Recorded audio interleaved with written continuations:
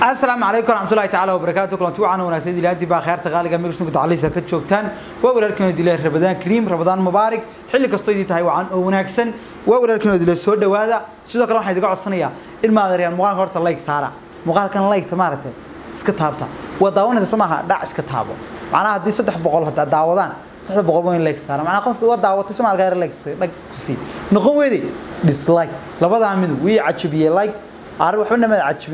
dislike taa qaado eeg saas sameeya. Maasha allah aad ba u mahadsantihiin. N waxaa inoo wadaa alfanaani macaan hilaac oo ka hadlay arrinta astaan t v ay sameynayeen. Macnaha dadkeena aad bay ula yaabanaayeen. Waxay ahayd astaan t v waa barnaamijka qareexo ama qosol iyo madadaalo ama barnaamijka comedy comedy ka qoslinta barnaamijka qoslinta. Ay ku jirto fanaanada jilaaga aktarada weyn shaadiye sharaf ay ku jirto. Waxaa jira odayga xooggan maaha ninka kale dhinaca xiga macnaha inuu si qaqalafsan oo adag uu hadlayo. Qayb ka mid ah waan tusi doonaa siyaabaha uu hadlayo ama hadaladiisa qayb ka mid ah. Tusaale ahaan hadalkanaaba ka mid ahba kan. Magac ma leedahay magacaha cali. Cali xuseen khidmadee lagaa soo tuura shibis. Goormay kaa keentay? Hal sac ka hor. Hal sac ka hor ku soo dhawow maadays comedy meeshan waa ogtahay soomaha inaan laga rabin xanaaq xanaaq iyo aamusnaani inaan laga rabin. Macnaha muuqaalka horta waa kaas. Waxaa ka mid ah hadallada qalafsan leeyahay ka lagaa keenay yaga ka timi iyo qaar ka mid ah ku leeyahay iska daa jiritaane qaabkaaga xitaa uma samaysna qaabkii jiritaanka. Macnaha dadku buuri ku tufiyo afuufay macnahilaa wuxuu soo qoray maqaal dheer. Macnaha qoraal dheer ayuu soo qoray waxa uu sameeyey inuu la xidhiidho astaan t v isagoo uu sheegaya macnaha in ninkaa laga qabto ama astaan t v ay wax ka bedelaan habka ay dhallinyarada ula dhaqmayaan. Balse wixii uu filayey iyo dareenkii ku jiray waa la soo bedelay aniga laftigayguna waan isbedelay xitaa qudhigayguba. Qoraalka barta ka arkaysa waxaa ku qoran waa qoraal aada u dheer.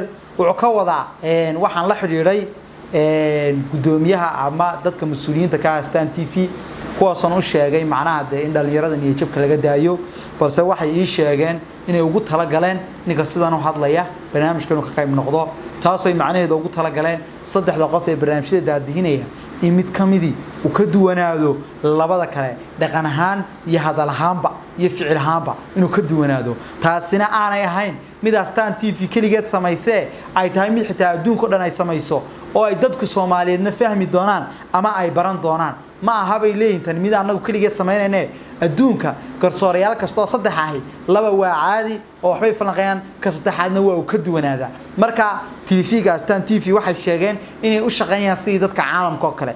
Halkaa haddaba anigu waxaan u qaatay in adduunyada qofku marka uu doonayo inuu fanaan noqdo matalan. Saddex saddex weji baan la kulmaya. Waan heesayaa markaasaan boodayo geed koray. Marka mid ka mid wuxuu qoranayaa wow codkaagu inaba caadi maaha waan ka helay waa kow. Toos igu qira. Mid ka mid wuxuu igu oranayaa wallahi ni horta wallahi dhiiranaan iyo indhaadaygii wad haysaa masraxiyadii wad haysaa. Laakiinse wax dee ma garanaysaa lagu heesa ma hayside masraxiyadii codkiiba waa kugu jiraani bal wax suugaan le la kaalay midnigood macnaha kaasi muxuu siiyey fifty fifty. Macnaha wuxuu igu yidhi waxaa tahay qof dadaal ku jiro laakiin wax qurux badan dadka ula kaalay. Waa laba. Kastaxadna muxuu igu oranayaa? Saa intuu eego ayuu igu oranayaa.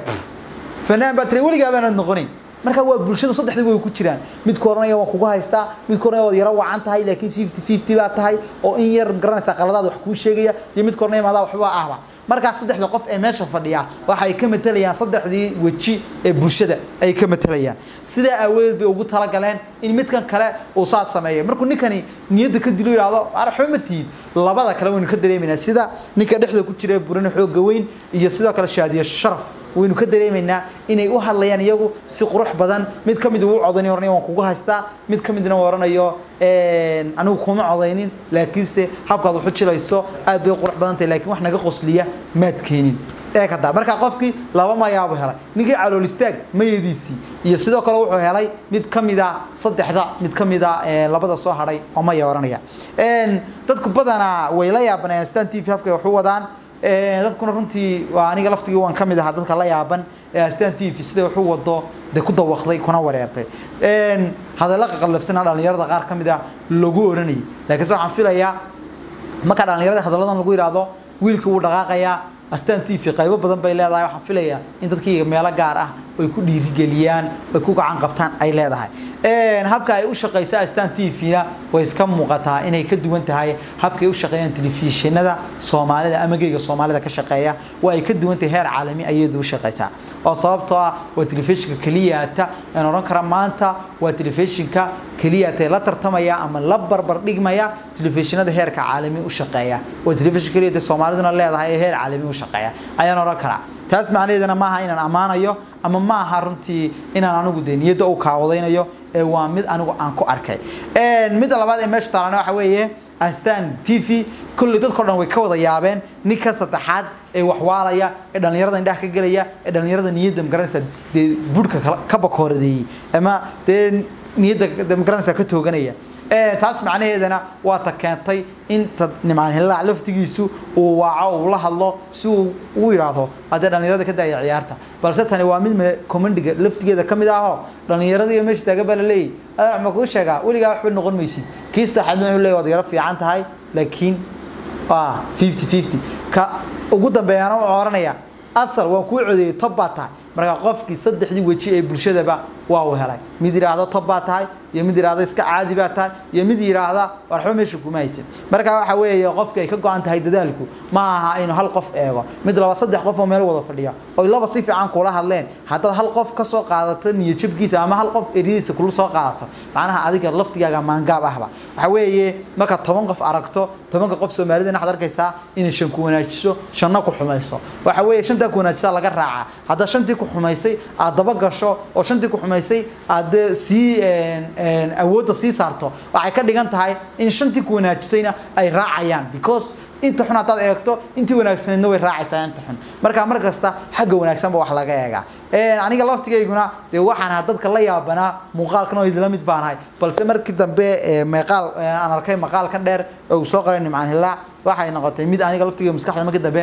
aan ka shaqaysiiyey oo aan markii dambe aan maskaxaan aan uba garaaban idhi waa si loo baahan yahayba. Inkastoo dhallinyarada marka eryada noocaasa lagu yidhaahdo qaar ka mid ay niyad jabayaan oo aan jeclaan lahaa mid kalena albaabka u sii dhigtaan oo idhaahdaa ninkaas saddexaad soo ma garanaysaa waa maxay eeday waa waa filan isla ognahay. Marka abti barnaamijyada dambena ka soo qaybgal lambarkaaga noo qor dadkii niyaddaasa loogu kaawaday niyaddana la dhiso. Qof walbana dadkiisa wax ka dhiga telefishinkana waxaan insha allah dad badan buu soo saaray barnaamijyo qurux badan buu soo saaray bulshadana aad buu u madadaaliyey. Keep going baan leeyahay stan t v dhallinyarada ka soo qayb gashayna waxaan leenahay intii guulaysatay waxaan rajeynaya insha allah in iyagana gacan qaban doonaan oy meel gaadhsiin doonaan fanaaniinta ka xanaaqda waxaa ka mid ah sharmaboy astaan t v macnaha tay ku dhigeen ama ta ay ku sameeyeen markaa sharmaboy lama soo marsiiyo macnaha astaan t v. Waxaan arkay astaan t v xarunteeda astaan t v dhexdeeda oo lagu dhegaysanayo heesta sharmaboy ah dhac dhac dhac bac bac saqa dhexe. Dhac dhac taa iyadoo lagu dhegaysanaya waan arkay.